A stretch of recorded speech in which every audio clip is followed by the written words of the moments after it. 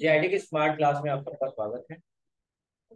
और एक्सेल की इस क्लास में आज चूँकि आखिरी क्लास भी है और कुछ हम अलग चीज़ें पढ़ेंगे, जैसे कुछ फार्मूले हैं, जो आपको पढ़ाऊँगा, जैसे राउंड हो गया सेल्यूम हो गया फ्लोर हो गया, ये सारी चीज़ें। चलिए विंडो के साथ आर और एक्सेल ओपन कर लेंगे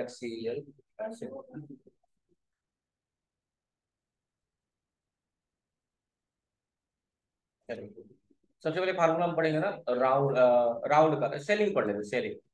Equal to C E I ceiling. अच्छा सेलिंग का मतलब क्या होता है, जानते हैं आपको सेलिंग का मतलब यहाँ होता है कि, नहीं, वो सेलिंग नहीं है यहाँ पे, यहाँ सेलिंग का बेचना नहीं है वो, ये सी है तो यहाँ सेलिंग का मतलब होता है कि अमाउंट को डिवाइड डिवीज़न के तौर पे यूज़ किया जाता है। जैसे कि समझिएगा मेरी बात, मैं कहना क्या चाहता हूँ।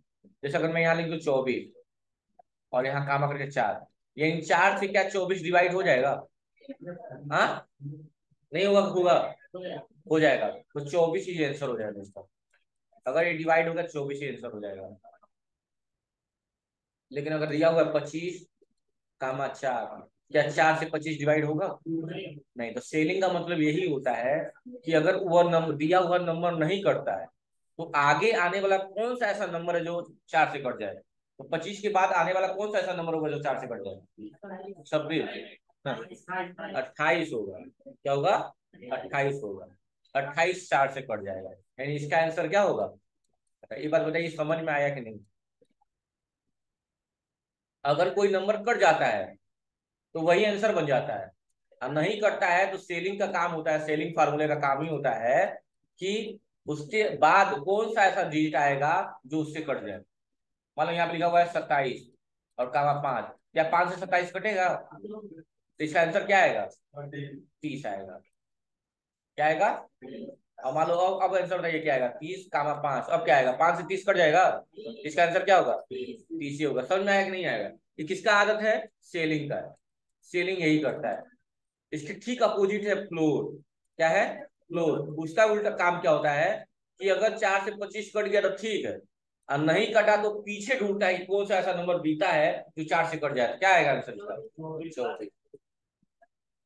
फ्लोर का काम है। और चौबीस का चार रहेगा तो चौबीस से आएगा। फ्लोर में भी यही है कि अगर कट गया पूरा पूरा तो वही आंसर हो जाएगा। नहीं कटा तो पीछे का ढूंढेगा और सेलिंग में आगे का ढूंढेगा। समझ में आया कि नहीं आया? चलिए, दो फार्मूले हैं। सबसे पहले फार्मूला लगेगा सेलिंग का। क्या? अरे यार, बंद हो जाओ इक्वल टू मैं थोड़ा जूम कर दे रहा हूँ। Equal to ceiling bracket open कर दिया। यहाँ डाल दिया पच्चीस कामा पाँच। इसका आंसर क्या आएगा बताइए? पच्चीस आएगा? पच्चीस आ गया। लेकिन इक्वल टू सेलिंग पच्चीस छब्बीस कामा पाँच। अब क्या आंसर आएगा? भाई छब्बीस तो कटेगा नहीं तो सेलिंग आगे ढूंढता है ना। और वही अगर इक्वल टू फ्लोर लगा दे तो? फ्लोर ब्रैकेट ओपन छब्बीस कामा पाँच। इसका आंसर क्या आएगा? क्योंकि पीछे का ढूंढता है। आया समझ में नहीं आया? ट्रिपल सी में बहुत फ़ेमस फार्मूला है, दोनों सेलिंग और फ्लो कई लोग को आता ही नहीं। लिख लीजिए आप लोग, अपने तरीके से सेलिंग और फ्लो के बारे में। तरीका समझ गया ना? चलिए, अगला जो फार्मूला हम पढ़ेंगे, उसका नाम है राउंड। क्या नाम है? राउंड का मतलब जानते हैं आप लोग? राउंड का मतलब क्या होता है? सुना राउंड का मतलब होता है कि किसी चीज़ को एक नियर अबाउट किसी वैल्यू तक पहुंचाना। जैसे कि आपने बचपन से पढ़ा भी होगा अगर एक लिखा हुआ वन पॉइंट सेवन फाइव इसके अप्रॉक्स में हम दो मान सकते हैं। मान सकते हैं नहीं मान सकते? लिखा हुआ वन पॉइंट फाइव फाइव इसको भी दो मान सकते हैं। लेकिन अगर लिखा हुआ वन पॉइंट फोर नाइन इसको इसको नहीं मानेंगे, इसको वन मानेंगे। क्या मानेंगे? यानी पचास पाँच से ज़्यादा होगा तो एक रुपया बन जाएगा। और पाँच से कम रहेगा तो ज़ीरो रुपया समझ में आ रही बात ना? एक अंक की बात होगी। अगर दो अंक की बात होगी तो पाँच नहीं तो पचास होगा। पचास होगा या पचास से अधिक होगा तो एक रुपया बढ़ जाएगा। और पचास से कम हो जाए तो एक रुपया घट जाएगा। दिमाग में रखे रहेगा ये राउंड अप होगा या कई बार देखा होगा आपने कि अगर यहाँ पर लिखा हुआ है one point one point seven nine और ये कहा जा रहा है डेसिमल कितने प्लेस पे लगा है? दो प्लेस पे। लेकिन कहा जा कहा जा रहा है आपसे कि आंसर वन डेसिमल प्लेस पे लाइए। आंसर कितने पे लाइए? तो यानी कि वन पॉइंट कई लोग सेवन लिख देंगे नाइन को हटा देंगे। सही बात है, यही होगा।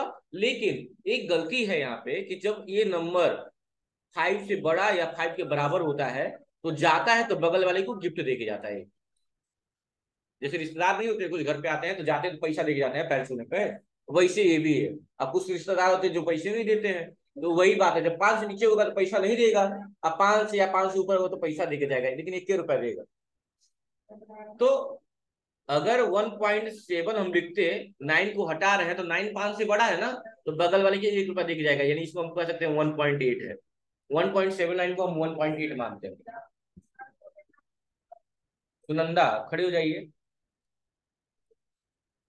1.38 और 1.5 में बड़ा कौन?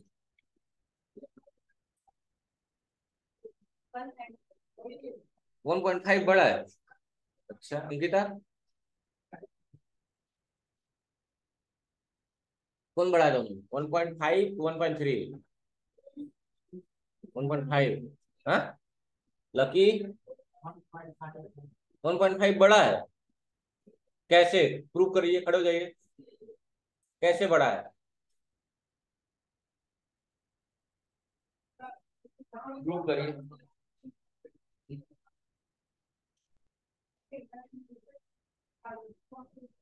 तो आप जानते हैं, डेसिमल के बाद कोई अंक लिखा हुआ है तो उसके पीछे आप कितना भी ज़ीरो लगा सकते हैं।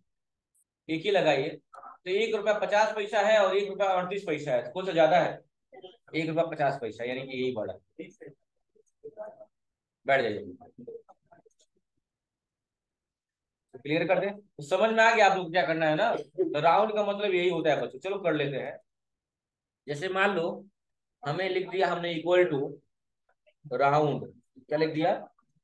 ब्रैकेट ओपन और हमने लिख दिया यहाँ पे वन फाइव फाइव कामा करके नंबर डिजिट कितना नंबरिंग करना है? कितने का राउंड अप करना है? तो क्या दिया माइनस टू का। मतलब पीछे से दो नंबर। तो आप देखिएगा वन फाइव तो आपका पहले वन फाइव तो है ये है। कितना लगाएगा यहाँ पे? माइनस टू लगाएगा ना? यानी दो अंकों में ध्यान देगा। कितने अंकों में ध्यान देगा? एक तो आपका इसे ही रहेगा। और दो अंक का मतलब क्या है? अगर एक अंक होता तो पाँच की बात करते दो अंक होता तो पचास की बात करते तीन अंक होगा तो पाँच सौ की बात करेंगे चार अंक होगा तो पाँच हज़ार की बात होगी। यहाँ कितना अंक की बात की गई है? दो। दो का मतलब पचास। यानी पचास से अधिक होगा। तो एक रुपया देख जाएगा। अब पचास से कम होगा तो एक रुपया दिख नहीं जाएगा। तो पचपन है, पचास से बड़ा है कि पचास से छोटा है? बड़ा है। एक रुपया दिख जाएगा ना? यानी एक की जगह क्या हो जाएगा? दो हो जाएगा। और ये अपनी जगह छोड़ के जाएगा तो यहाँ क्या बचेगा? क्या बचेगा अपनी जगह पे? ज़ीरो बचेगा। भाई, अगर हम अपनी जगह छोड़ के चले जाए, आप सौ रुपया रखे थे अपना। यहाँ सौ रुपया रखे थे, हम सौ रुपया लेके चले जाए। कितना रुपया बच गए यहाँ पे? ज़ीरो रुपया। बस, यानी कि दो सौ आना चाहिए इसका आंसर देखते हैं।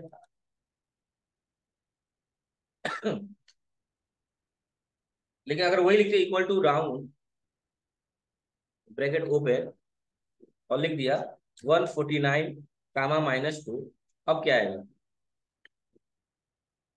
अब क्या आएगा भाई? क्या आंसर आएगा? दो। वो बताइए। हाँ? दो तो कहाँ आएगा?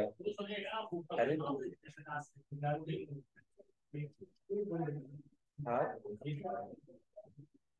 फिर क्या आएगा बच्चों? पाँच हज़ार, यही ना? अगर मान लीजिए यहाँ पे दो रहता तब क्या होता? है माने दो रहता तब? तो सिर्फ़ दो अंकों पर ध्यान दिया जाता।